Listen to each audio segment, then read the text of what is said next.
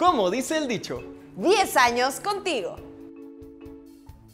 Dame pan. Y dime tonto. Así es, familia del dicho. Yo soy Nuria Gil y estoy muy contenta porque estamos con Franco Capdevila por primera vez en el dicho. Oye, yo pensé que llevabas muchos años haciendo dichos y me estás diciendo que es tu primero. Es mi primero y estoy muy orgulloso y estoy contento de estar acá con ustedes. ¡Qué emoción! Yo te conocí en esta historia Me Suena y ahora te- estoy aquí contigo. Entonces está increíble porque quiero que nos platiques acerca del personaje que vamos a ver.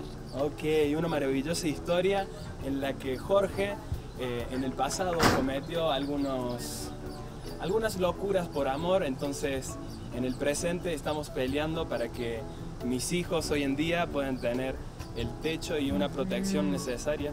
Claro, porque tengo entendido que tu mamá eh, no estaba muy contenta con la persona con la que te casaste, ¿no? Con esta mujer que tiene Claro. otro, otro estrato social y eso hace que la relación entre mamá e hijo esté un poco delicada, ¿no? Sí, así es, el personaje de Jorge, que es mi personaje, está enamorado de la secretaria de su padre, entonces eso no le cae muy bien a la madre de mi personaje, lo cual lleva a que también rechace a mis hijos en el futuro. Sí, y, y- y bueno, no les vamos a spoilear mucho, pero aquí mi compañero.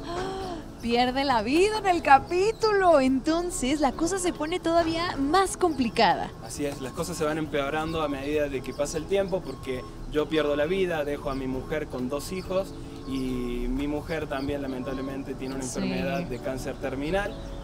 Y entonces, pobres de los niños que se quedan ¿Qué va a pasar solitos. con los niños? Pasar con por eso tienen que ver el capítulo. Pero yo, Franco, quiero preguntarte. eh, uno de los temas importantes de este capítulo es el rechazo de un familiar hacia otro familiar. ¿Alguna vez tú has vivido un rechazo importante en tu vida que te ha marcado? Mm, Yo puntualmente no, pero sí en cada familia es un mundo. Entonces, en cada familia pasan cosas diferentes y hay rechazos tal vez de familiares Claro. hacia otros familiares. Y bueno, ¿qué decir? La verdad es que la vida sigue y hay que hacer oídos sordos.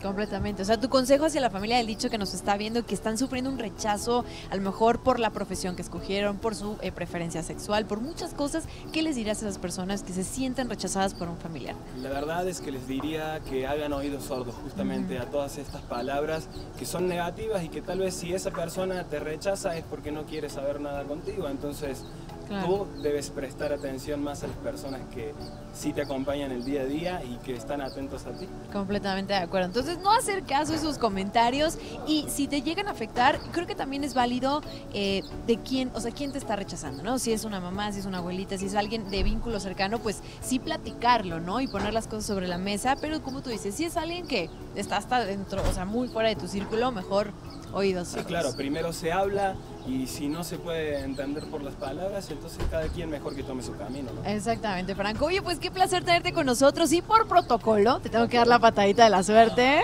Ahí te va, para que regreses pronto.